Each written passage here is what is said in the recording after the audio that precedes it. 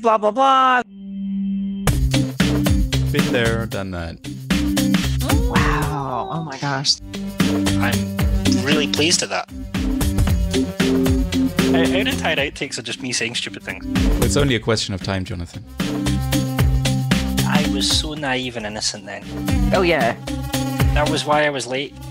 Fair enough. We tried to shoot for an hour. Aim for an hour, surrender after two and a half. We learned nothing. How do you know that you've met an extroverted translator? I was afraid you're going to ask that. They stayed at your shoes during the conversation? Yeah, you're right. I have so many things in my house that do not spark joy. so, what do you think? Should we give it a try? Stop the presses. Oh, sorry, I'll do this again. That came out a little differently than I meant, but you know what I mean. Listen, guys, it's going to be major. This is going to be amazing. I decided to give myself the introduction because, you know, if someone's going to be embarrassed, it might as well be the Scotsman. Welcome to Troublesome Terps, a podcast about things that keep interpreters up at night. And welcome to Speaking of Translation. Hold on, is this Troublesome Terps or speaking of translation? Yes. Yes. Yes. Okay, we'll go with that. Jonathan, do you want to start again? Sure. Hello there, and welcome to this very special episode of Troublesome Terps, the podcast about things that keep interpreters up at night. And speaking of translation, yesterday is another fun joint podcast episode where two teams of podcasters take turns trying to figure out who's interviewing whom. And on this very special joint episode, we have, you heard him earlier, he's the voice of reason, the Earl of Editing, and the master of making us sound professional. Good luck with that.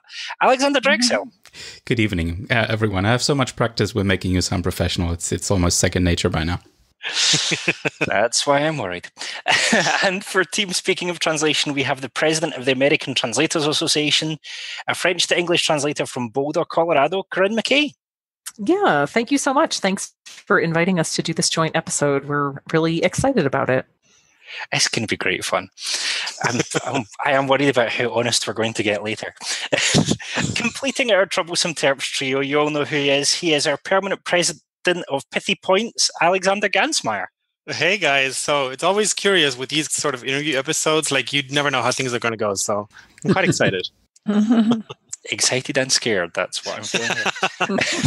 here. and rounding out the incredible award winning, speaking of translation team, we have ATA certified French to English translator, director of the board, director on the board of the American Translators Association, and author of the book Maintaining Your Second Language, Eve Bodeux.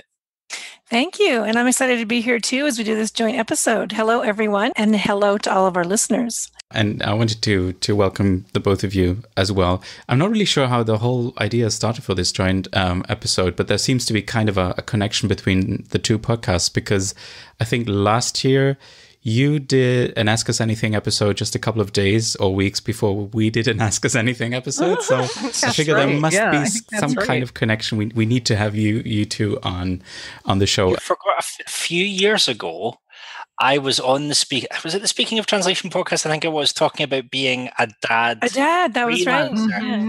Yeah. And. I, I was so naive and innocent then. I think I only had to find in life was so much easier. No, no. We've been doing It it was great. since 2008. So if you've been having kids after since after that, then you know. Right. I was just going to ask about that. So you've been doing this for over 10 years now? since 2008. Uh huh. Wow. wow, that's intense. Yeah, you must have been the very first podcast in the language industry.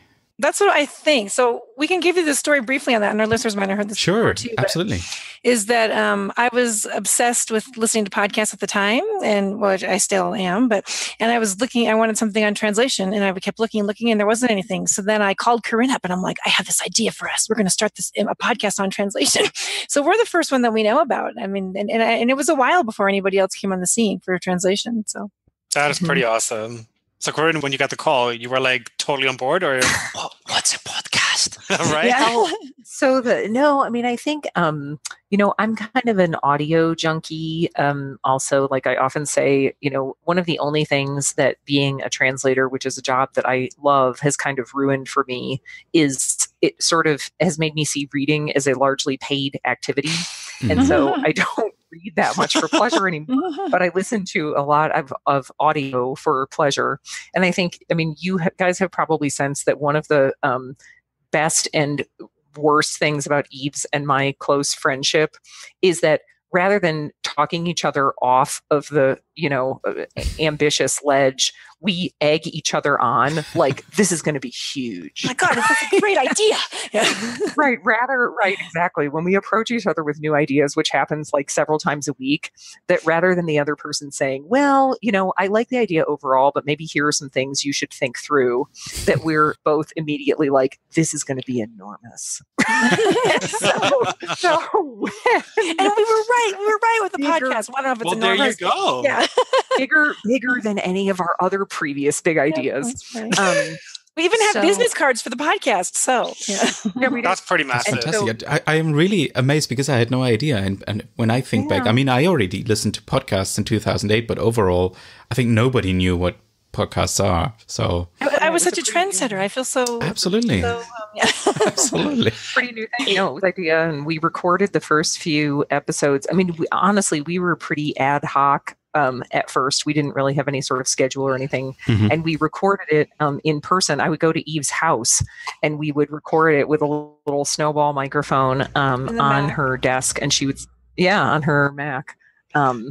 And uh, yeah, and then it's kind of evolved over the years. We did some interviews at ATA conferences, and I guess it's only within like the past two years or so that we've gotten a little more organized, and we try to do an episode every month. And yeah, know, we were we like were semi consistent, but now we do it every month. Mm-hmm. Yeah, it took us yep. a while to get on the on the monthly schedules too. I'm impressed with Jonathan because for us, maybe it was because our kids were little then too, and so we couldn't commit to doing it so consistently. right, exactly. We, we, yeah, we force him to. You know, that's, yeah, that's how it works. Yeah. I think the two Germans are kind of saving the whole scheduling thing. right. Yes. Right. Yes, totally. and yeah. there have been episodes where I've kind of called in a little bit late because someone had need, has needed to go to bed. Yeah, um, although the latest I've ever been is there was one episode where I thought this is going to be perfect. I'm traveling anyway. I've got the hotel room to myself. We're going to be completely silent. I don't need to worry about waking anyone up. and then everything ran late, and we had Matthew Perret on, mm, and I turned up what about 40 minutes late because just nothing worked. Yeah. and I thought, this is horrible. The one time when I can impress the Germans with my timeliness. See, I didn't. There you go. And yet, through the magic of editing, we made it all work. yeah, right.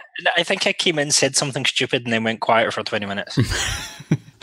but um, since I'm always interested in, in sort of origin stories, did, did you two, Corinne and Eve, did you also start out in the profession together then? Did you did you even study together? Or what, what was your sort of path into into the translation business?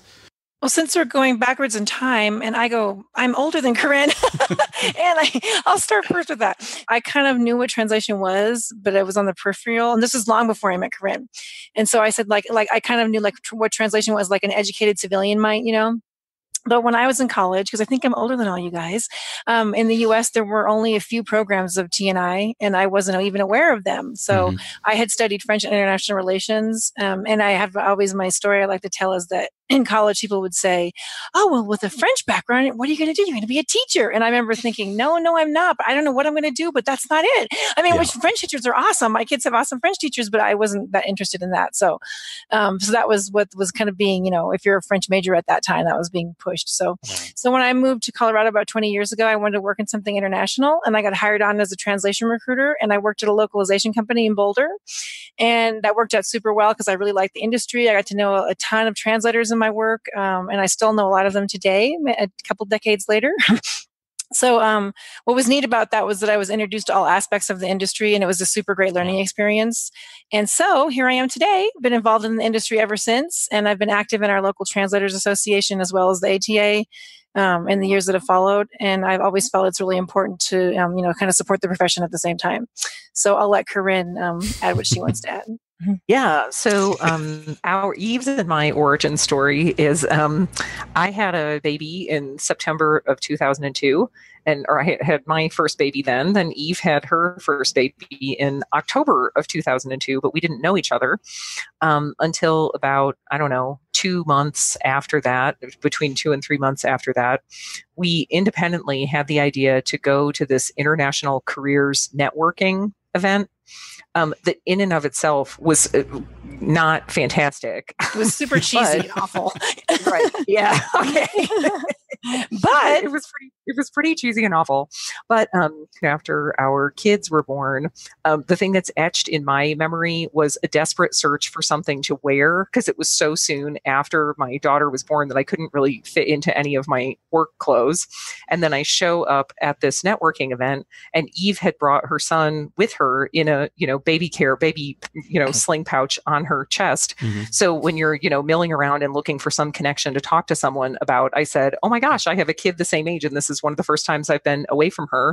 And that was it. We the network the networking event was pretty cheesy and terrible, and I believe featured a talk by a shaman about you know get the, out. no, no, no, I must have blocked that part out. That's yeah, hilarious. It, it, featured a talk. It featured a talk by a shaman. I'll just leave it at that um, but um, yeah, but that's how that's how Eve and I connected. And I mean, we lived, you know, not very far away from each other, and then like mm-hmm. our kids became friends, and our husbands became friends, and mm-hmm. so it was um, very serendipitous that we met each other there, even though the event itself was, you know, not the um, what we hoped. Yeah, exactly. Right. Yeah. yeah. I, just realized guys we, we never talked really about we, we talked about the origin of the podcast a little bit i think but we didn't um, talk about the our pathway into the profession. Mm-hmm. um, although I, I probably did talk to you individually on the other podcast that shall not be named That's right. So, do you want to give us the, the cliff notes real quick? You two met at an association, as far as I know. Jonathan and I met at the ITI because we were both serving on the board of ITI at the time. Alex, I met you because you've always been busy doing whatever you can to, to, to, to do the most. So, I met you in Berlin at the FIT Congress. Is that right? That is I think correct. that was the first time that we met when yes. you organized the um, booths there. Yeah. Um, so that's how I know the two of you. I don't actually know how you two know each other. Is it from the podcast that shall not be named? Lang FM? No. Possibly. Oh yeah, I think it was. But the, the whole interpreting thing, how did how did that start for you guys? All right. So the whole interpreting thing is just pretty straightforward and actually kind of boring, but um, that's what they all say. It's, it's not true. No, it's because it's just like you know, a lot of people say, "Oh, I wanted to bridge like the cultural divide, and I wanted to help people communicate, and la la la." And I just kind of like talking, so it was just kind of a natural, kind of a natural fit. And then even like the podcast feels kind of like a natural fit for what I'm, what I want to do. True. And I figured out pretty early that I need to work with English because it's basically all I was really good at in high school, that and French. And initially I wanted to do American studies. And then we had like this job day at high school. And basically the, the lady there was saying that the only thing that I could do with that is file for unemployment benefits. And I was like, well, that's not. was she a shaman by any chance? She might have been a shaman. I don't remember. I must have, I must have blocked that out. But um, yeah, so then I basically just looked at what else I can do with English, and I found this weird thing called translation and interpreting. And l- funnily enough, that was like on a Wednesday or something. And like that following weekend, they had an open day at the, the language college here in Munich, and I went, and you could try, like, you could dabble around in interpreting, and I just tried it for like two seconds, and I was like, that is it. Oh my god, yes, that's exactly what I want to do. Neat. Wow, that's, that's so cool. Yeah. So my story is a bit different. My mum and dad had what they call an open house when I was young, from missionaries to drug addicts, prostitutes, business people, you name it, we had them through from all over the world. All of my friends grew up with like football players, that's soccer for Americans, um, posters of them on their wall.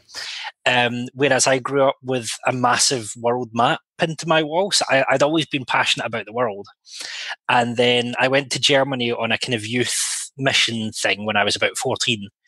And I just saw these two people standing at either end of the stage because, you know, they were too cheap to actually use equipment.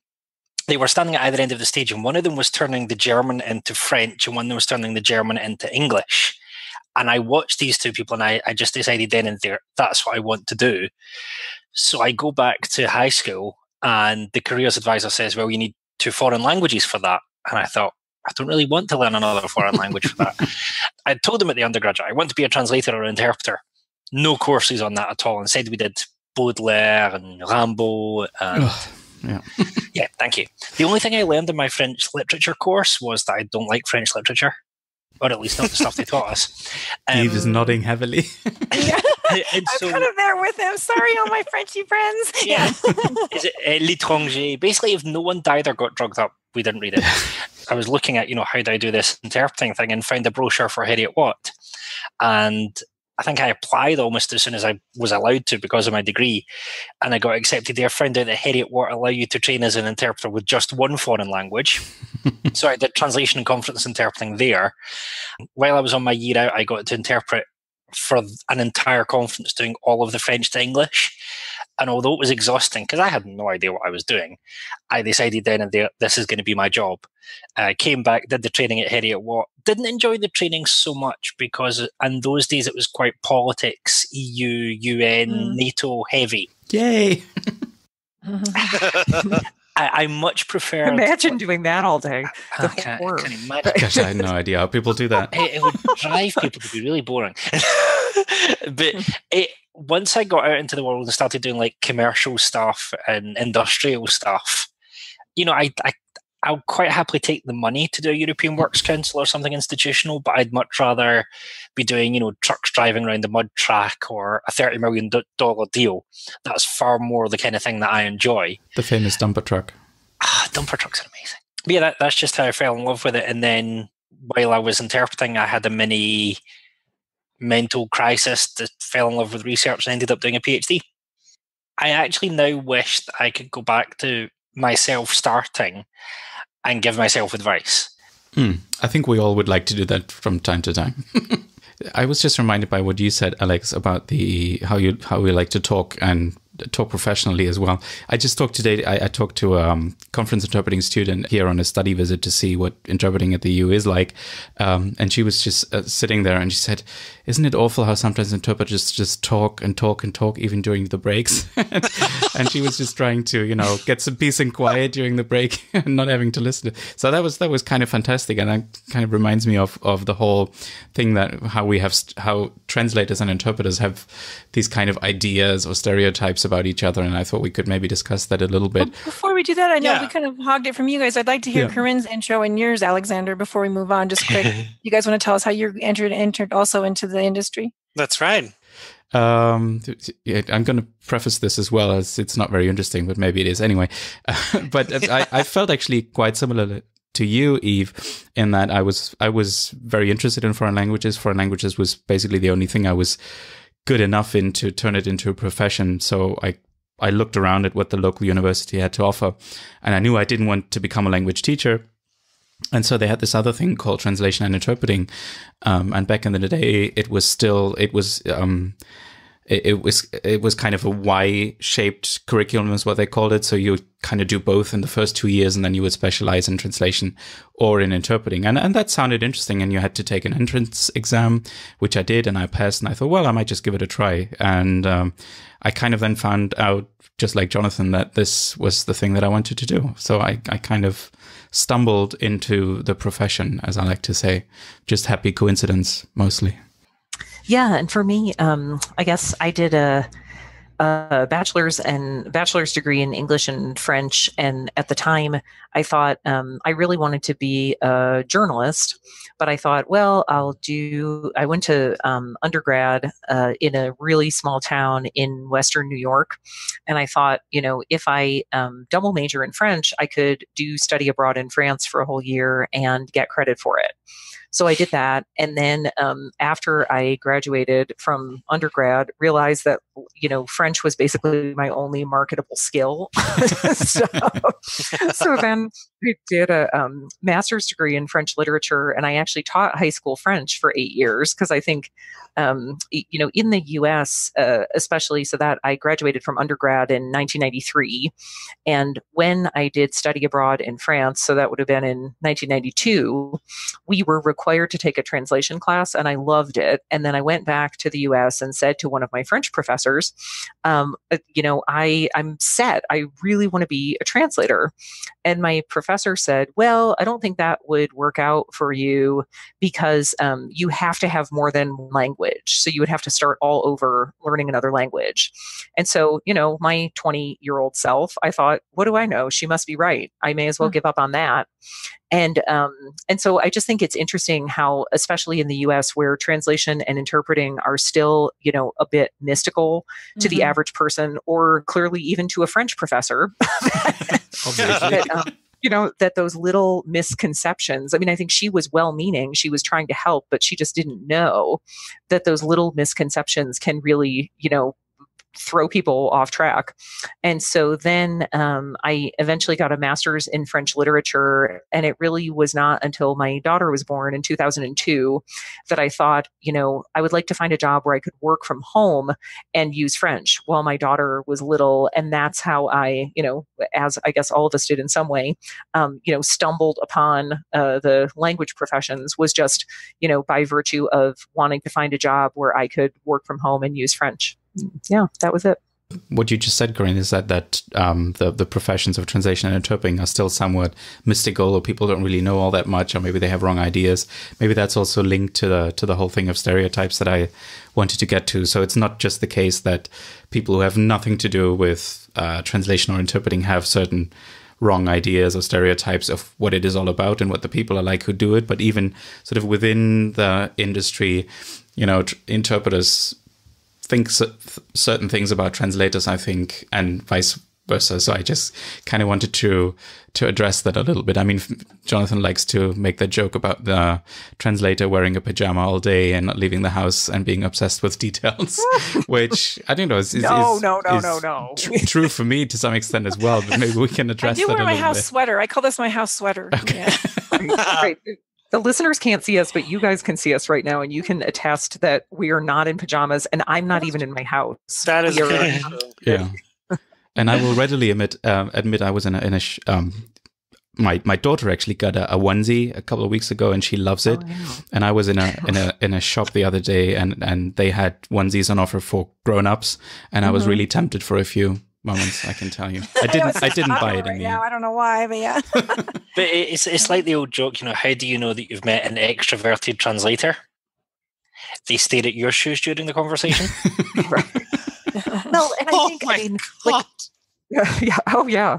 Like all joking aside, I mean, one thing I often say when people bring up that sort of stereotype is like, does it surprise you that people who are attracted to a job where you work alone at a computer mm have a certain type of personality. I mean, that, you know, that I think in a sense, stereotypes, are, uh, A, are always extreme, and B, stereotypes exist yeah. for a reason because there's always a shred of truth to them.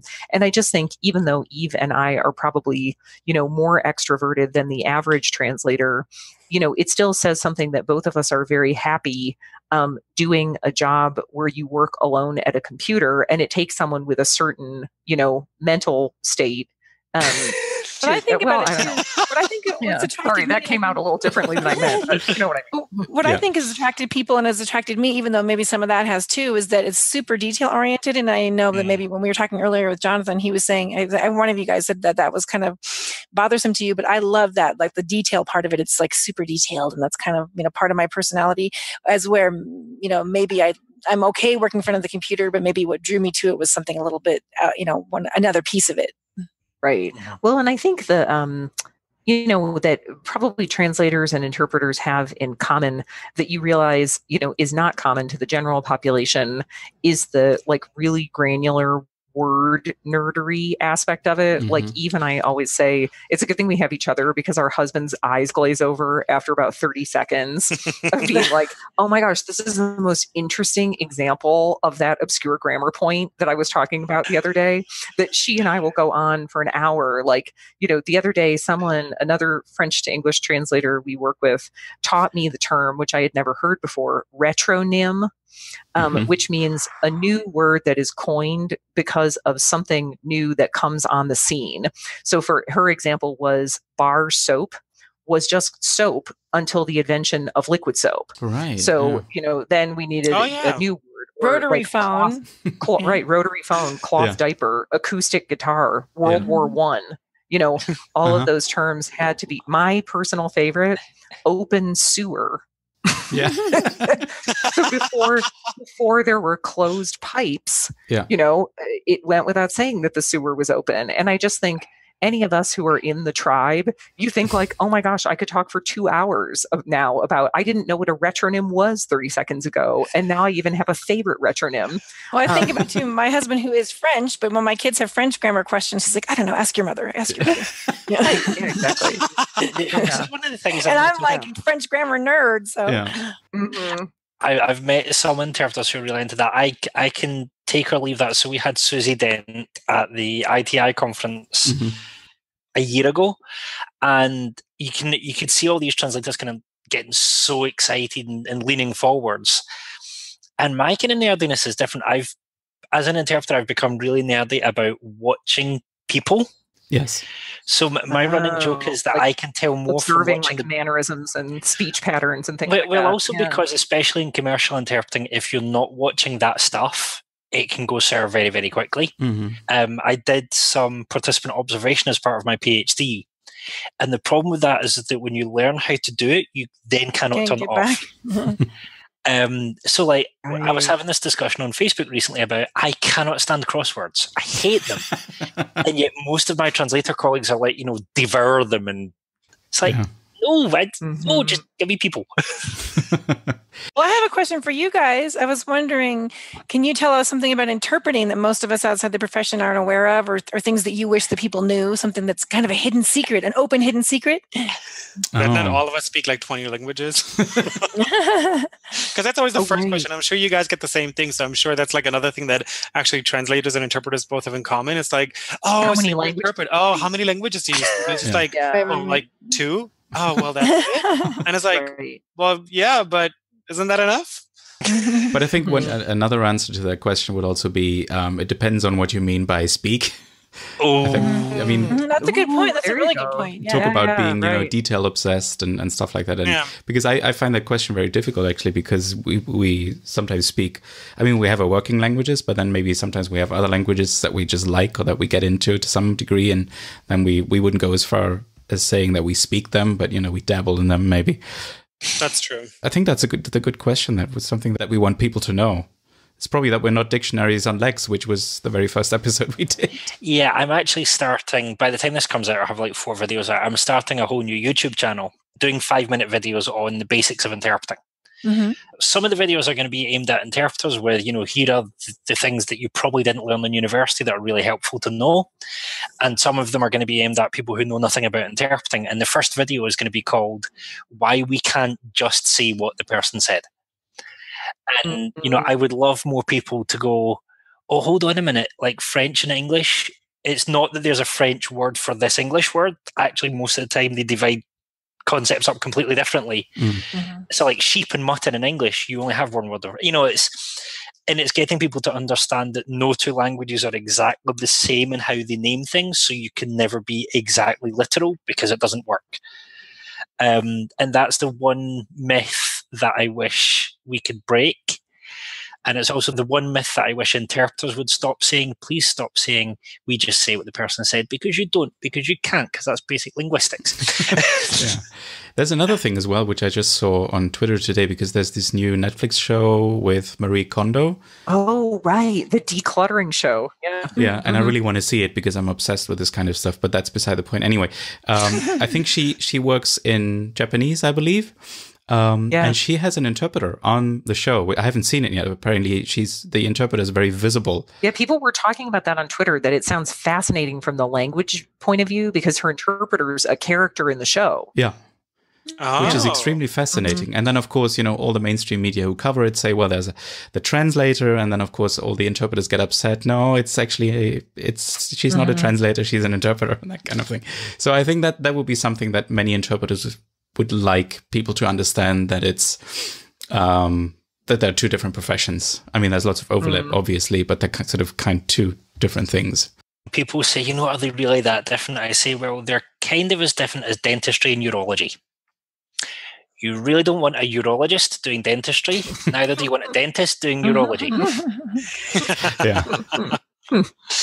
There's a, a another um, topic or question, if you will, that, that one of you brought up. I think you, Corinne, um, about the whole question around active languages, passive languages, or native and non-native languages, mm-hmm. um, which which is very controversial in in both fields. Um, and um, I know, yeah. at least from some professional associations for interpreting, that this is always something that gets people riled up and, and where people have very strong opinions of what you're supposed to do and what you're not supposed yeah. to do, i.e., working from your C into your B language, for example, is very controversial. Right. But it, it seems to be mm-hmm. similar in, in translation. Well, I'd say, I mean, the thing is that I feel like for translators, it's pretty clear cut that the only, um, I mean, for example, I don't know that any translator would argue that there's an advantage of working into your non native language unless it's your dominant professional language, which for some people is true. You know, when I talk to some translators who say, you know, I grew up in uh, Saudi Arabia but I came to the US when I was 16 as an exchange student and I never went back. Um, and so I did, you know, all of my education after age 16 was in English. And now I consider English my dominant professional mm-hmm. language. And actually, if I were to um, like if you guys know Jost Zetzsche, you know, who's mm-hmm. German, who's a translation mm. technology guru, that he said that when he um, is going to present in German, he has to think it through a lot more. Like he cannot mm. present off the cuff in German, um, even though it's his, you know, quote unquote native language. Yeah, okay. to me, it's sort of more subtle with interpreting. You know, now that I'm at like at the very, you know, beginner end of studying interpreting, is that the hard thing is at least when you're going, let's say, into your non native language, you know that you understood the source. you know what I mean? Yes. Um, yeah, that, you know, so if, like, if I can point out an example from your podcast, actually, was maybe two episodes ago, because I think I'm an episode behind. You guys were talking about the expression A for effort. And one of you said, where does that joke even come from? Because mm-hmm. the word effort starts with E. Yeah. And the thing is, I, I think that. it's like Jonathan, uh, right. I think it might not, not even be obvious to Jonathan Downey, who's obviously a native English speaker, because in the US educational system, when you're little, you get two grades, one for effort and one for achievement. And oh. we get letter grade, oh. A, B, C, D. And so A for effort is a sort of tongue in cheek way of saying the person who tries really hard and doesn't quite get it. you know, like the person who got an A for effort because they got a C minus. Because an A is a good grade, is I the best no grade. Yeah, that's fantastic. Mm-hmm. So there's an example that, like, you know, for you guys, you understood the words perfectly well. But for me, if I had been interpreting into French, I think I would struggle to interpret that concept into French. Yeah. But the expression A for effort would be very clear to me. And that's the thing that I think you know, it's more subtle for interpreters. So I don't know. I'd just like to hear you guys riff on that a little bit. So I guess um, as an interpreter who's done most of his work into his B language, which is the mm-hmm. opposite mm-hmm. to the way things are, um, yeah. I find that actually one of the great myths about interpreting is that you need to know all the words. so yeah. even if I didn't understand, like, I mean, you the, heard all, it here, ladies and gentlemen. um, so you know, even if I didn't understand the US education system, which I didn't, I'm not sure anyone yeah. understands any educational system, mm. um, least of all those in it. But the and by the way, sorry for taking an example from your podcast. That that's was, you know, that's totally fine. But it, um, but just but, when I heard it, I it, it it brought that concept home to me. You know? so, yeah. so if I if I had someone, so for instance, not everything in a formal meeting is said formally. Mm-hmm. Um, oh no! so if I had, you know, if something had happened and the American delegate said, "Well, I'll give you an A for effort," their tone and the context tells me exactly what I need mm-hmm. yeah. to be able to right. find the French. So it's this tongue in cheek thing yeah. for nice try, but not quite there. Yeah, so yeah. I would probably say, you know, good try, or at least you tried, you know, something like that. Mm-hmm. And I think mm. the the difficult the difference I find with translation is if if we don't get a word at least eight times out of ten, the context tells us everything we need to know. Hmm. Mm, Whereas mm-hmm. in translation, if you don't, and I remember when I was translating, this is what bugged me: is if you don't get a word in translation, you might know what it means, but there's often, especially in things like scientific translation or legal translation, there is the word that you have to use. And if you don't know that word, you mm. have to spend ages going and referencing for it. Whereas, yeah, we will have, and I do expect my mates to be doing terminology searches while I'm working. It's mm. of being a mm-hmm. team. But in some ways, I a lot of times you don't need it. It's just helpful if it comes up again, so that you're not having to find another solution. Well, I think in two in translation yeah. that comes up to where we talk a lot about specialization, specialization, where, you know, mm. like that might happen to me sometimes, but if that's happening to me all the time, then I need to specialize in something else. And obviously I don't know that specialty. yes. yeah. yeah. Fair point. Mm. Yeah, I think I think another aspect, and I don't know if you, you agree there, Jonathan and, and Alex, is that um, sometimes I feel it also depends on the topic. So mm. some topics I'd rather work into English, some I'd rather work mm. say from French, if that makes any sense. Mm. So mm-hmm. I think there's something to to that um, as well. So I I don't know if that's related necessarily to the terminology of the field or if it's just personal preference. Um, but I think that that that plays a, a role as well. And and since uh, one of you said that um, supposedly when you work from your native language or your A language or whatever, um, you have at least you have understood everything, I think sometimes that can also be a problem because mm. the fact that you have understood everything um, can sometimes sort of block you, you know, because you you you feel like you have to bring everything across. Yeah. Um, when you can't, or when maybe you shouldn't even. So I mm-hmm. think that's that's another thing to mm. to bear in mind. I'm sure this doesn't happen in the commission, but uh, Alex Gansmeier, are you are you with me that so I have a preference if people are being sneaky, I would rather they were sneaky in English. If people are so so long as they're Not sneaky in, in my yeah no well because if they're sneaky mm. in French, I don't always notice that they're being sneaky. Oh yeah, that's tricky. If they're oh, sneaky in English, I get yeah. it. Mm. So you can read it better. Mm-hmm. Yeah, if, right. if there's any hun- underhandedness going on you can do it in English all you like and I'll be fine. But it's French understatement. Sometimes you just miss. so there was a really famous one where I got fooled by an agency. I ended up doing a day and a half of chuchotage. Yeah. So the first half day was an evening AGM. And the French delegates were saying one thing out loud to the chair in French and another thing to each other and then blaming mm. me that the English delegate, the British delegation, and the chair were taking them at the word that I interpreted. Hmm. If someone does that in English, I can figure that there are ways that I can deal with that. If you do that in French, I find I'm less able to. Maybe to reading the culture, some of the cultural cues, or something you're saying, inter- yeah, in, yeah. interpreting in quotes the cultural cues. Yeah, and also uh-huh. in, in interpreting I don't think German has it, but but French has ways of saying things that could either mean they're being completely honest and upright, mm-hmm. right, or they're taking you for a ride, and you really have to listen right. very closely and almost know the person. Mm. Whereas right. a sneaky Brit for a, a fellow Brit, we're so used to sneaky Brits, we can. I heard someone give the example that I thought was interesting of in pretty much any language you can point to, if you take the expression more or less, like I'm more or less finished with that, mm. it definitively means more or less. like in some languages. In Germany, it means I'm basically done. Yeah. Yeah. But in, right.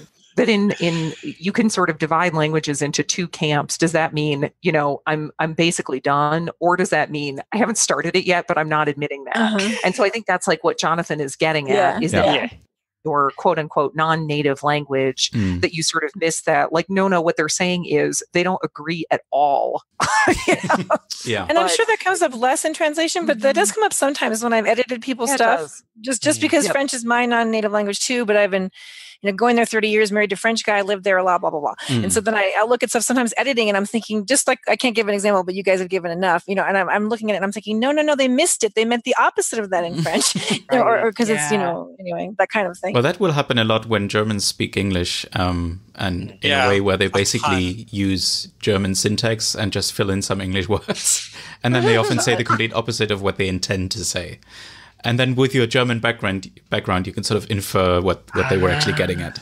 Which is always going to be super easy, obviously, for the German English booth, but every other booth is just going through hell with yeah, that stuff. They have no idea what's going I, on. I yeah. actually wanted to bring up like another point, which I think is really interesting, and it's it's sort of a difference between translation and interpreting, at least when it comes to the finished product, because when something outrageous happens or something says something completely outlandish and you can see like the the delegates responding very weirdly like sometimes it's possible for you as the interpreter to kind of take a step back and say so this is him saying that. So you can kind of like point out that it's not actually you as the interpreter yeah.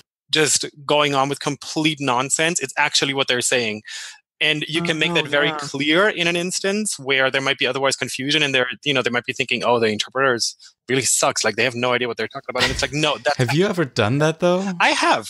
Yeah. I mean, really distance yourself content wise from the speaker? Not because of the content, and I've not distanced myself. I've just made it clear that this is actually what they're saying. Like I'm not oh, just making like, this. No, no, this is what he's actually this, saying. Yeah, this right. is actually what's going on at the moment. Well, I think actually and, when we we may have a more clear way to do that in French because sometimes in French, I mean, sorry, in, in French, in translation, sometimes we have that too, where I think, you know, I'll be thinking through, that's another like, um, I think hazard of the profession because I think through, oh, they could do this, they could think this, they could think that, they could that, being the detail person trying to think of all the different right. scenarios, mm. you know? And yeah. so when I, so I don't try not to do it a lot, but when I worry about that, I put sic, you know, in, in English, uh, um, right. open brackets, SIC, uh, close brackets, because we also do have that concern sometimes where I think they're going to think I got this wrong, but that's exactly what they mm-hmm. wrote. Mm-hmm. Yeah. Well, and I do sometimes when I have to um, insert a really horrible profanity into a translation.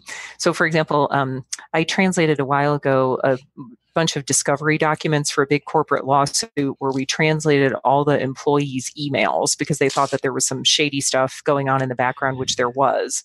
And they described and they described the head honcho of this company in these horrible, vulgar terms. And you can't say wow. jerk you know, when it says yeah, something. that's what they're saying. Yeah. Yeah. Yeah. When it says mm-hmm. something like horribly profane. Mm-hmm. And so then I would actually insert a note and say, this is a direct translation of the French profanity. Mm-hmm. So, I mean, I think it's something like what you were talking about, you know, Alexander, of saying, no, no, this is what the person is really saying. Right. Yeah. The person yeah. is blathering on nonsense because they're, you know, getting super emotional or they're confused or whatever. Yeah. Yeah. That's super have, interesting, Corinne, because I had a, a, similar thing last year. I wonder if it was the same client. I don't think so. But I was thinking, but I was thinking too about that later. yeah, but I think that that comes into the thing too, where it's not our role to say jerk because that's not what they're saying. You know, they're saying that's right. Of, you know, uh-huh. something a lot worse. Sorry, John. I actually really revel in in interpreting profanity because it like either there, there's like two types of recipients when that happens. Either the person the people the person listening wasn't really listening in the first place, and then as soon as you say some really bad word, like it's kind of like a whiplash yeah. and it's like they've suddenly woken up what? yeah it's like yeah. exactly what is going on that's number one and number two is they are basically like a marble statue like they don't move at all and then you know okay now they're really going in for the kill like now they've had it and those are like the two types in the meetings and it's always kind of curious because you always have like a hunt as to who is going to be who, but sometimes there's surprises. So I find that very interesting. So mm-hmm. I, I had one where it wasn't a profanity, but I realized that they were, it was a debate over the meaning of qualité and quality. Oh, and yeah, favorite. It turned out that they were this is in my new books. I really shouldn't say it. But anyway, um, it turned out they were defining it in opposite ways, and the meeting almost crashed because they were defining quality in, in exactly opposite terms and getting really confused at each other. Uh-huh. And in that occasion, I think I said something like, um, Excuse me, the interpreter believes there's been a misunderstanding, and then said it in French and, and explained. That's less available to you in simultaneous. But I have done maybe once or twice in my career, and I've heard of other interpreters doing it maybe once or twice. Something like um, l'orateur dit, when you really think that there's a danger to your reputation or safety. Mm. Um, it's incredibly rare, but there are times when someone's getting really, really super, super angry and everyone starts looking at the booth. Mm. Sometimes you have to explain that uh, the uh, the speaker is beginning to get rather angry at the moment. Well, it's kind of like you're reminding them as a non-interpreter. It's that sounds to me like you're reminding them of the actual process. Like you're saying, don't get sucked so much into just like you know, yeah, you know, you don't want to look at me. You're reminding them this is a process, and I'm, you know, just representing what they're saying. Now, it, mm. it should be vanishingly rare. Um, mm-hmm. and it is in my career vanishingly rare. Yeah, hopefully. But I think we're kidding ourselves if we don't think that translators and interpreters have both professional reputations and, on occasion, professional safety to look after. there are issues where I know of interpreters, if you're interpreting for dangerous people, you have to make it clear to all and sundry that the words coming out your mouth are not, not your own. You yeah. know, it's not mm-hmm. the interpreter threatening someone. Yeah, um, and if you're a good interpreter, sometimes people forget that. And that's what I was great, saying. Like they'll be sucked into it. You were sucked into it, and then you and have to say, idea. "No, no, no. I mean, this yeah. is the process. I'm not the sayer. I'm not the emitter of this." Yeah, I think it speaks to someone else that I think you brought up as a as a question, Jonathan. Um, the, the the whole question of of context and mm. history uh, if you will. And I, I, think the question was that um, on the one hand, in interpreting, you do have a lot of context. So you see people, you see how they react, you see the body language, you see how other people react to what the person is saying, to what the speaker is saying. And in translation, you don't necessarily have that. Um, at least that's that's probably the idea that we as interpreters have. At least is that you have your text and you have to translate it, and maybe you get to ask a few questions to your client, but the client may not necessarily be the one who wrote the text or you know so how do you deal with that kind of uh, does it does it sometimes feel like working in a in a void? Because that's what's so so specific about interpreting. We always work in a context and that's i think why so many interpreters are reluctant to work remotely um, because that they see the risk that they lose that context and that, that they get out of the situation. Well, I guess one thing we have to help us with that is time. I mean, that we have mm. time to research, you know, to research it in certain ways. Mm. And I mm. think, probably, you know, I started in this industry when the internet was just a baby, but we were starting to use it. and I think that that probably was even a bigger issue for people who were doing this before the internet because a lot of times you can find, oh, I realize this is from this website and this this is what they're talking about, or not always, but I mean, there's there's many many resources available to us with and with just that maybe coming like you said from the outside you're thinking oh there's not a lot of context. But for us we see all the words around it as the con you know we think oh that's a lot of it is significant and helps us or whatever mm. plus the research. So i what do you think about that corinne?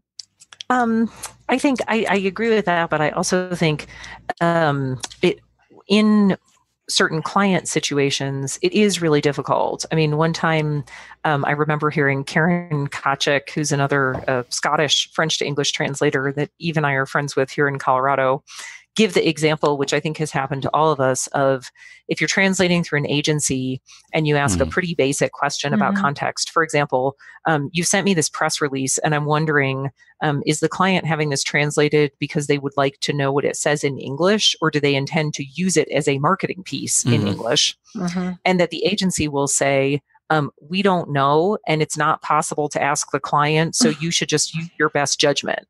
I think um, you know that's a not atypical situation yeah. um, for a translator. I mean, I think you know um, when you work and again these are generalizations but typically you know when you work mostly with direct clients for example i do a lot of um, international development translation of documents from west africa that have concepts i'm not really familiar with and it's possible to ask the client you know can you send me a picture of a health hut so that I can get an idea of what this thing is. Does that mean small hospital? Is it literally a hut? Um, you know, what is it made of? The the vacuum situation does certainly happen and it's not at all uncommon that um, and i by that i don't mean anything negative about mm-hmm. agency mm-hmm. clients i'm just talking about the business model right, that it's right. possible that they would say we don't know and we have no way to find out you know make your best call yeah. i think another example of that is software localization is that because um, i you know been doing a lot of software localization all over the decades, and I always tell my clients when I because I also run languages for other other you know sometimes I'll run other languages, project manage other languages, and so like you're saying, Karina, it made me think of that right away. Is that I work it into the process because I I say you know I'm sorry, but you can't say you don't want us to do linguistic testing because I'm not going to do it then because that's part of the process. it doesn't mean like oh we, we want to pay for that. Well okay, I mean that idea where uh-huh. we have to see it in the context, especially with that because it's just these kind of strings that are by themselves. So that, like mm-hmm. you're saying, um, that's part of the process that you need to work that in if it's possible to do that. So you can see in more context. I mean, for for us, one of the things I said on was it the last episode or the one before about we'd always we'd always come in in the middle of a conversation. um, mm-hmm. Now, the great thing about interpreting is so, for instance, uh, I've done a few deep sea fisheries policy meetings. And the first one of those you do for the first hour, you're just staring and going, how am I ever going to get through this? Because obviously these people have known each other for ever, and they know what a Xeno Fire Four is, and they know what this is, and they know, and you're just even if you've done the research, you just look at it and go, I see lots of lines on a screen, and I'm not sure what they mean. but but after the first kind of hour, hour and a half, you're fine. Um, and so we have the advantage that although we come in in the middle of a conversation, we can pick it up relatively quickly. Uh, what I always find hard in translation is that sometimes you're coming in in the middle of a conversation, and even by the end of the translation, you weren't clear what the conversation was about. that's so know, true. Yeah, did, did, that's so did anyone true. else have texts like that where you go, I, I know you've sent me this for a reason, and you've even sometimes you get the brief and you go, okay, can I get a terminology list for the brief? Right. right. But I mean, that's that's the thing, right? Uh, I, think I do very very little translation these days, but um, I, I, did more of that um, when I was still freelancing. But I always found both activities very very mutual, mutually beneficial.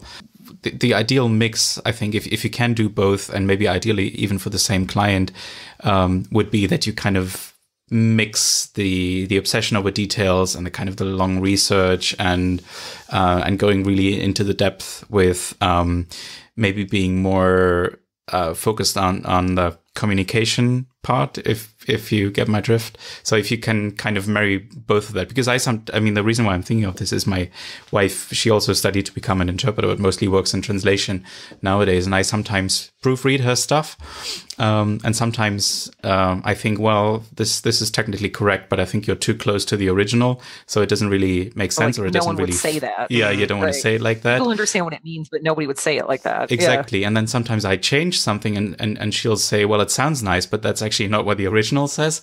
And so I, I always find that having, that's an extreme example, but I think you know what I mean. So having, having both together, I think is kind of ideal. Even though there are 2 separate professions, I think it's nice if you can do both from time to time, maybe focusing a bit more on the interpreting part or the translation part. But, um, yeah, that that wasn't really a question. I just realized. Yeah. I actually had the same conversation with a colleague like a few years ago because in the beginning, obviously, I think even if you want to become an interpreter full time, I think everybody in the beginning, especially, does translations because they are somehow easier to get by than proper paying interpreting jobs, in the, especially in the beginning. Um, so I did a lot more translation in the beginning, and I, for me, it was always just kind of like a means to an end. You know, it was just kind of, kind of like I need to pay a rent, I need to buy food, that kind of thing. Um, and I stopped translating pretty much completely as soon as you know I could basically live off interpreting, and for me it was kind of a relief because I used to do the I still do the same thing. So if a client of mine actually asks me to do a translation for them, I will not say no. I will obviously do it, especially if it pertains to a particular conference I'm doing or I don't Hmm. know meeting or whatever, because then it's yeah. basically paid preparation. So that makes makes sense to me. Um, but I really dislike doing it because it's kind of like the sort of Damocles always like hovering above my head. You know, while I'm out and about, like tr- uh, interpreting. Like I always have to do translations, maybe like five minutes here, five minutes there. But I never really have the time to basically sit down and like do it properly, and then it just kind of stresses me out.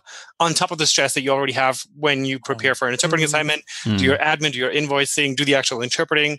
So for Mhm. me, even though I totally see what you are saying in that it kind of keeps you grounded and more detail focused, for me it just was an enormous stress factor when I was still doing both. Ravin, like especially you, because like you're get, getting into interpreting, right? I, I don't know. Do you see it? How, how do you see it? Let me actually ask you, because I don't know. No, no. I mean, the thing I was going to say is, um, you know, I do uh, more than actually interpreting, which I don't do professionally at all right now. I just like to talk to a lot of interpreters. Right. and one one thing that um, several of the full time professional interpreters I've talked to have said is, when you do an interpreting job, for better or worse, it's over. Yeah.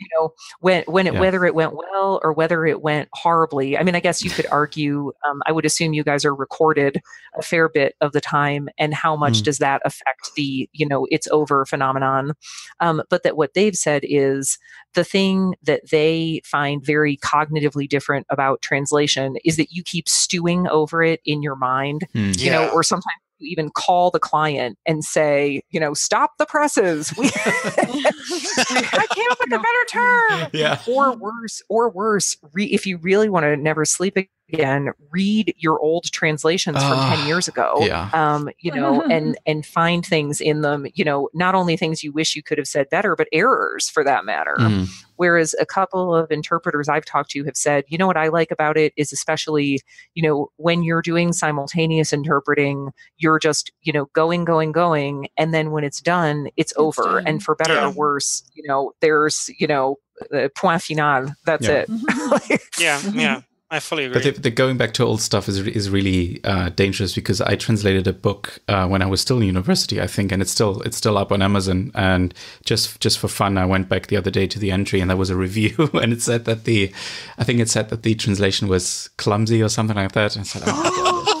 But Oh, the- it was it was it was probably right, you know. But um, I just I just shouldn't have gone back and checked. Mm-hmm. I now have a folder in my email in my work email called old project please ignore Perfect. Because you would go searching for something Yeah. and you would find old things where you were searching for something else and especially yes. Right. I I've had a couple Let me of just take a look. Yeah, let me just take a look. Actually, look. I Just real approached that. I learned this years ago from Lillian Clementi, who's another um, French to English translator, and I learned the opposite of, from her. And her thing was, and I've always called it what she called it. She said she has a folder called "I Love Me," and I do that too. And when people send me things like That's "This amazing. great," yeah, like this, was, I loved this translation, or you did a really great job for us. And I and I do go Hmm. back and look at those sometimes. I'll be like, oh, who loves me? You know. Yeah. So- I put that in my journal, really but cool. it's the same idea. Yeah, that that really Yeah, helps. yeah. Yeah. I, I I need to get one of them because I've noticed uh, one of the things that really helps is at the moment the biggest project I'm working on is a second book, and I made the classic author mistake. Anyone who's written a book will tell you never ever leave your most difficult chapters until, until last, because then the end of the writing process is. How am I going to finish this thing? And I left my two most difficult chapters until last. And, you know, I, I was all day in the National Library today going, okay, what I'm going to do is I'm going to reread all of the other chapters. Just in Um, case. but what helps with that is the the really nice reviews, and even one review that found something that the guy didn't like. Hmm. Uh, Andrew Gillies found a couple of things that he didn't agree with and he didn't like, but it was a really great review. And when when Andrew Gillies, who is a renowned interpreter, says this is a book that everyone should buy, I put that as a big tick. and then- Mm. A big "I love me." You should have Yeah, that framed right. on the wall somewhere. I, I am gonna get I am gonna get that framed somewhere, and I'm gonna completely ignore the other comment that someone did responding to that review on a, a translators and interpreters forum saying yeah. it's okay, everyone can have my copy. I was just gonna throw it out anyway. I'm like, Whoa, really, wow. people? Can I just ask a question to Corinne and Eve? Because I was wondering, Corinne, you were saying that you kind of stew over the translation a bit, and that was always something that I just loathed because for me it just took forever. And I remember like this one time I had this 20 page translation, which is basically nothing in the big picture, right? Like it's just nothing. And to me, it just felt eternal. Like it was just a never ending project in my mind. And I think why uh, it was such a relief for me to stop translating is because I my ADHD was kind of too intense for for it. You know, to kind of like focus on one thing for this amount of time, which is the good thing about interpreting, right? Because you get different speakers, different conferences every single day. So how do you guys keep the focus on one project? Because 20 pages it's is not much, right? So let's say you're doing a book on a topic which might not necessarily be the most riveting topic in the world. Like how do you guys Hmm. stay sharp on that and not just kind of like zone out?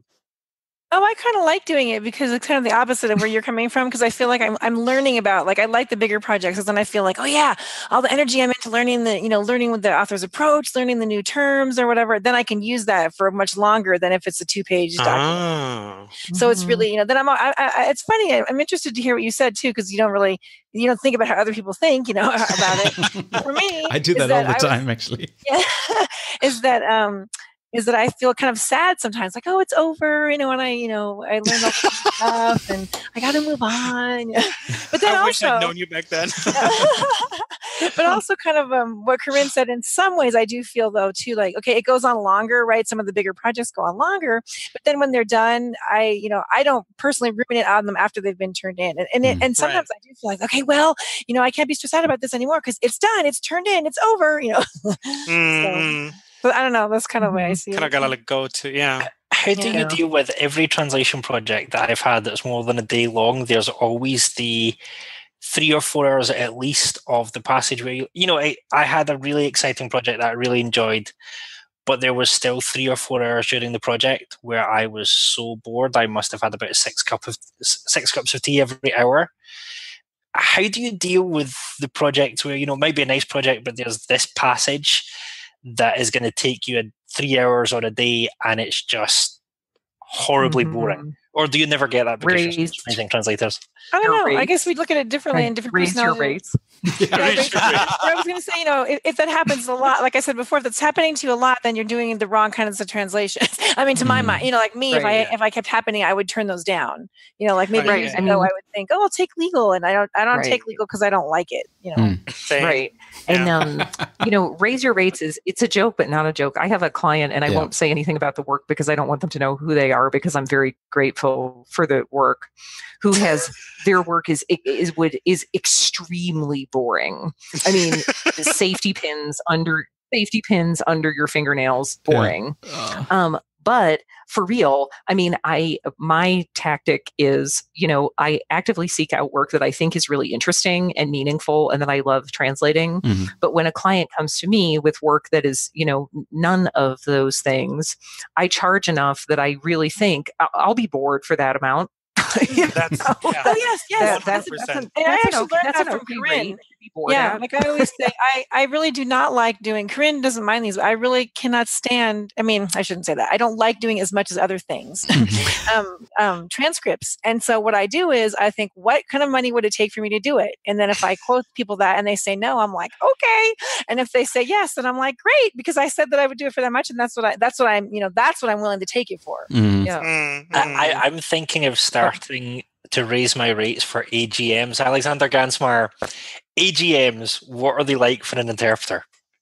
I think they're an awesome amount of fun. What? I really do because it's like it's like batshit crazy stuff keeps happening. Like I swear to God, I have to tell you guys a story. It's wait first, first for us non-interpreters, you have to define an AGM. Oh, sorry, an AGM, right? So, Jonathan, it's, go ahead. It's an annual general meeting, mm. and there are two types of, of AGM. Uh, so if you get a big organization, they have to have an annual general meeting every year. If they're international, they're going to have interpreters there. Yeah. And a type 1 AGM is you spend a day, sometimes two days, just interpreting stuff. And it kind of makes sense, but you you get to the point where, as I said with some colleagues in AGM I did once, did anyone actually understand what was going on? You know, you understand the language, but you don't understand mm-hmm. what's going on, and it's just like a day or two days of na na na na na na na. And you, uh, and if you weren't bored enough so, by the chair's address, here's the finance director's address. so listen, Jonathan, it's really funny that you would say that because just the other day, or like the other week, I actually had an AGM, um, like a year-end AGM. They have a weird timing, but we understood exactly what was going on, but we didn't understand the language so we just kind of like held on for dear life and we just kind of did it because you know when you have these shareholders asking all these questions and then the questions are being sent back to the legal department which is backstage and then they phrase out a fully formed like legal opinion give it to the cfo and then he just reads it out mm. and this is like pages of legalese answers and so that that's basically what you do all day but there was yeah. this one incredible guy who came on and he has like one share of like every company in Germany. I don't even know. Um, and he just came in and he started rambling about this guy called I don't know. I'm just gonna call him Jochen. I have no idea. Just like some some guy, and then he kept on, and then he kept going like, yeah. And then Jochen called me, and he said, "Listen, I'm standing by this electricity box, and like it's raining, and I just saw this cat, and he just like went on and on, like rambling the most bizarre thing ever. And I kid you not, both of my co- like it was obviously my turn because every time something crazy like that happens, it's my turn. But both of my colleagues had to leave the booth because they had to giggle so much. It was so laughing so hard they couldn't even be in there. Exactly. Oh like it was that the most happens. Yeah. Because you know I had to keep a straight face. Like I really, really tried, and obviously if they were both sitting next to me, like I, I couldn't, I just couldn't do it, and it well, was most extraordinary. Even. this is why I love interpreting because one, I didn't realize that you could actually make money doing so many different things. I've been in places that human beings don't that you know non-specialists don't normally go into. Human beings. And they send interpreters. Oh yeah and then yeah. also like so a type 1 agm is just quite boring a type 2 agm something wacky or crazy or exciting or ooh, slightly off happens Jochen and the cat yeah Jochen and the cat or, yeah. or you or you get random angry guy, and it's always random angry guy. Yeah, of course. Or you or you get um you get a ton of pensioners. Oh, the, pay, have you oh, ever had retired people with yeah, too yeah, much yeah. time? Right? Yeah, yeah, yeah, They come for the buffet, but they stay for the show. I was Yeah. gonna say. I, I, th- I thought they only went to Translators and Interpreters Association AGMs. Mm. But anyway, That's a different thing. Let's not get into that. you, you also do get um, so so there's the, the most dangerous thing to say at a corporate AGM is if the chair says, "Does anyone have any questions?" Because what happens next is you get a couple of you know you, first you get silence, then you get this, and it's always a guy who puts his hand up, and if the chair sighs. You change interpreters because if the, if the chair sighs, then only one per, one person has put their hand up, and it's that oh. guy. yeah, yeah, It's yeah. going yeah, to be a long And day. Yeah. They, they also go to political summits, and Yeah. you recognise them because they, they stand up and they, they pick up a sheaf of paper. Oh no.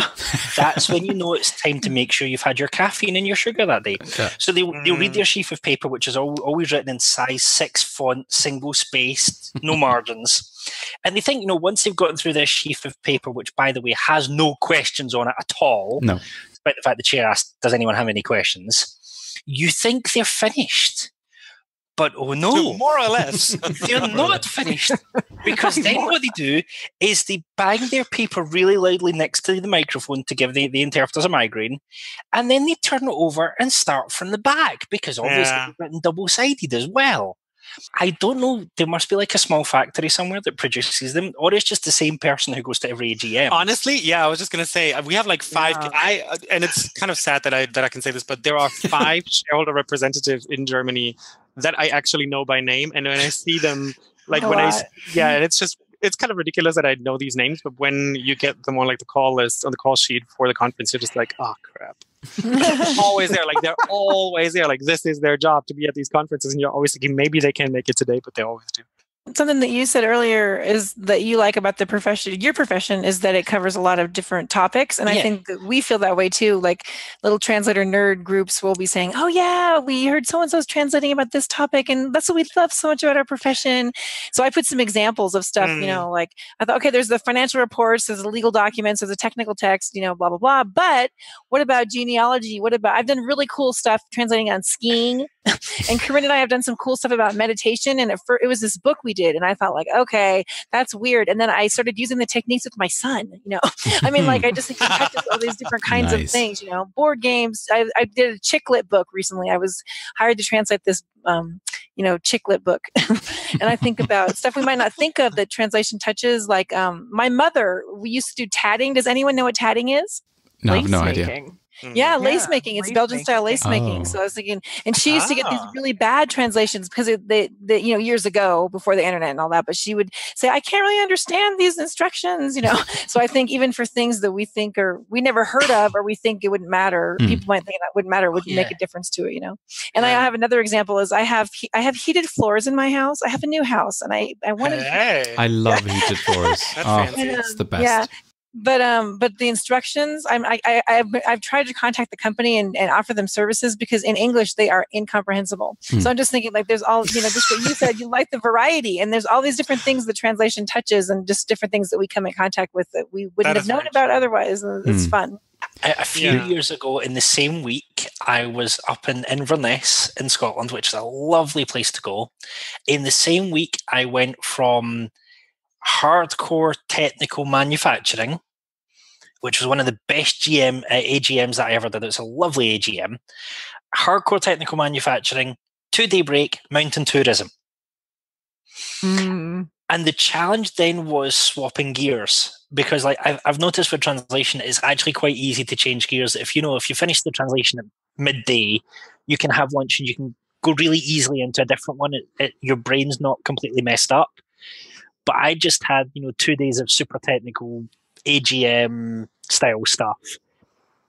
And to, to then have two days to get myself ready for mountain tourism in a completely different setting was I actually found that quite challenging and also seeing the difference in how different clients treat you. So the industrial client put us in a really nice spa hotel. The other client put us in a hotel so small that when I hung my suit jacket up in the cupboard, it was uh, it was touching the floor. So I tell people that I closed the cupboard, reopened it, and went, "Bilbo, come on an adventure." That's a Lord of the Rings joke. Like, yeah, we got that, Jonathan. Thank you. Yeah, I actually just had like a follow up question to kind of what Jonathan was just saying. You know, switching from one job to the other because that happens quite a bit. Um, you know, like one day I might be doing like a supervisory board, the next day I'm doing like a press conference or whatever. How but, there's rarely any overlap. So like what we call in, in Munich, we call like a double whopper, um, is when you have like a very short job in the morning or maybe until like lunchtime, and then you have like a like a press conference or like an awards ceremony like in the evening. But that happens like twice a year if you're lucky. Um, so there's really no overlaps in the jobs. Like, do you guys ever have like overlaps or like scheduling conflicts in your translations, or do you do like one after the other? Do you take on like multiple jobs at, t- at a time? I think Corinne should answer this because Corinne is like the queen of organization, and I'm not. So, Corinne, you answer this one. no, no, no, not at all. If you saw my house, you wouldn't say that. No, Eve sees my house all the time. Just wait till um, you watch Marie Kondo on Netflix. Oh, oh my god! yeah, exactly. I know. I could. I have so many things in my house that do not spark joy. Yeah. Um, yeah. Ouch. They're yeah. They're gone. You know the lingo. Eh? Yeah. Um, I don't know. I'd answer that in a few different ways. Like in a sense, I would sort of turn it back and say, like, God, you guys are the ones that I don't know how you do it with the scheduling. Because for us, I think the real repercussion is, or I mean, I can say what I do personally is I try to set my rates and actively market enough that I can have about 20 billable hours a week and earn what I want or need to earn. And so the thing is that then if two clients need me at once for a really big project, which does happen sometimes because mm. I work mostly for direct clients, so I really, really mm. try not to turn them down unless right. Eve can take it. that, um, that the real the real repercussion. I mean, my I feel like for us it's actually simpler because the real repercussion is you just work more. Mm. Um, you know that on those rare weeks where you have two good clients that have a big project that you can't say no to, that you just um, work more. And that for me, you know, I don't want to depend on having to translate, you know, fifteen thousand words a week every single week in order mm. to earn my target income. Right. And obviously, yeah. my situation is a little bit different because I'm about um, fifty percent translation and 50%, you know, books and classes and stuff like that. But I mean, for you guys, I think like, okay, you have a good client who says, we need you for this two day assignment.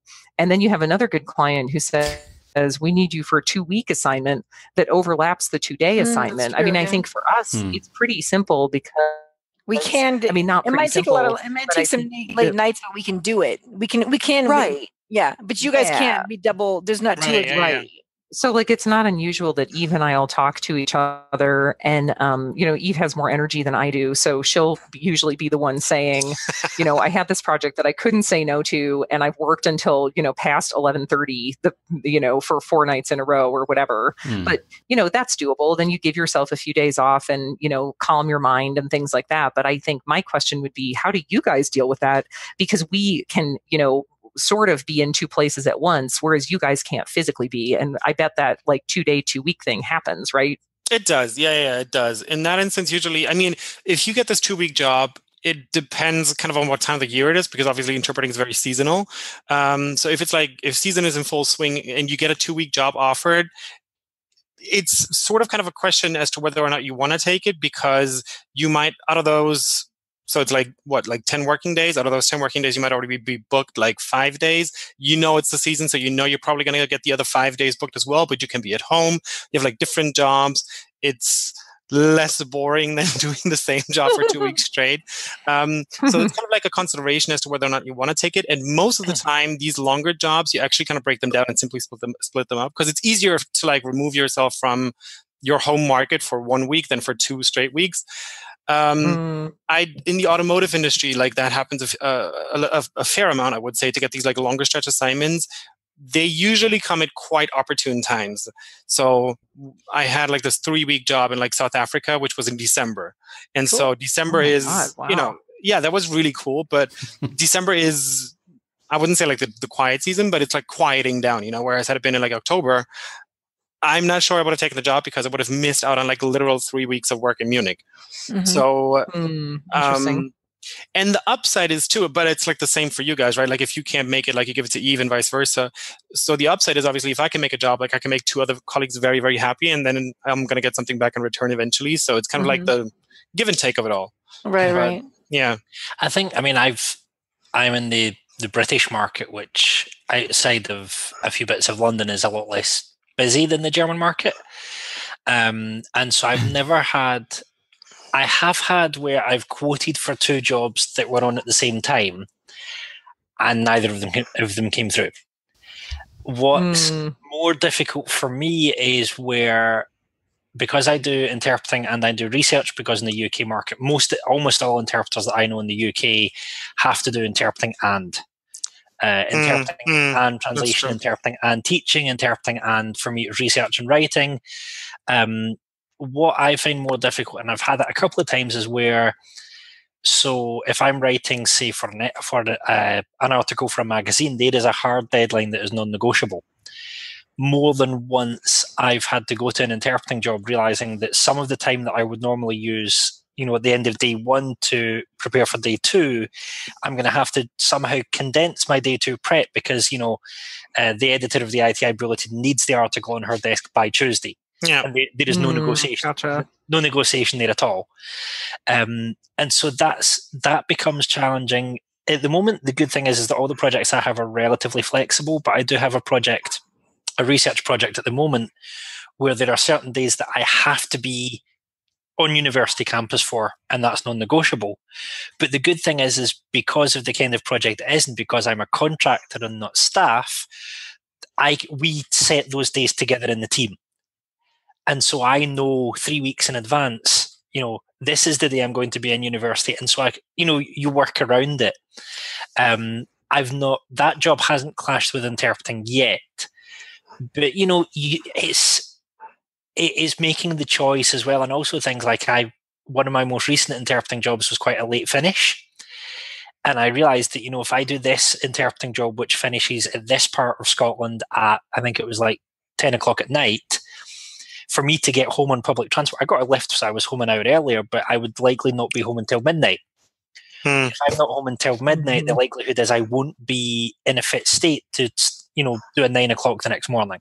Mm-hmm. So you, you, I then had to juggle. You know, I've got this interpreting job, which is really well paid because the client thinks it's hard.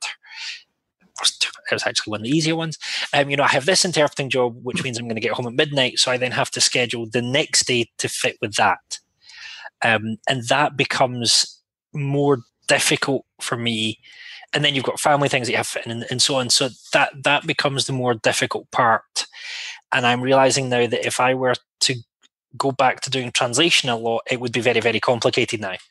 I mm. actually I mm. actually mm. said no to a client not because you know the, the rates weren't I didn't massively hate or love the work but the when the work was coming in was always because of their seasonality conflicting with the other projects that I needed to do. Mm-hmm. And so I, the the end up for me was I had to say to that client, that translation client, I'm really sorry. You know, thank you for being so loyal for all these years, but because of when the work's coming, I'm just not being able to to do it. And mm-hmm. so I, I said yeah. no to a long term client it was a wrench. You know, you go back in your accounts and say, how much did each client give you every year? And, and you realize that's an amount of cash you have to find again. But we have to be sensible. We're human beings. And I'm very aware now that I have four young kids. I should only be doing a four day week. And that means that everything has to fit into four days, whether it wants to or not. I just have to make it. Listen, guys, um, we we've been going for for quite a while. We actually have quite a few more topics, but maybe we can um, take up the thread another day. I don't know how you how you feel about that. Uh, maybe sure. talk a little bit more yeah, about technology great. and stuff. Yeah, that'd be fun. I have I have, and you have dishes to do. oh wow! Usually, I would do them during the day, but I've been out all day book writing. Yeah. And yeah, the, the National Library was good, but I keep thinking, you know, the National Library will have no distractions. It's the biggest library in the country, Jonathan. Of course, it has distractions. Lots of good books.